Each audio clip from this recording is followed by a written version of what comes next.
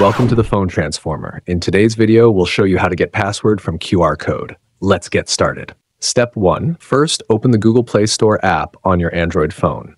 Ensure that you're logged into the correct account before proceeding. Step 2.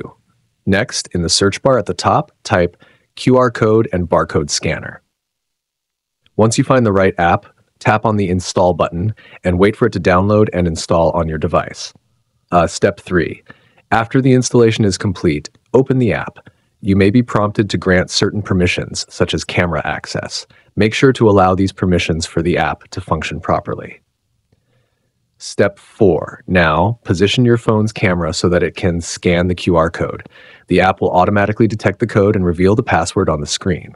Step 5. If you want to use another method to retrieve the password, go back to the scanner menu and tap on the gallery icon. Step 6. Then select the QR code image stored on your phone. The app will process the image and the password will be displayed on your screen instantly. Thanks for watching and please subscribe to the channel.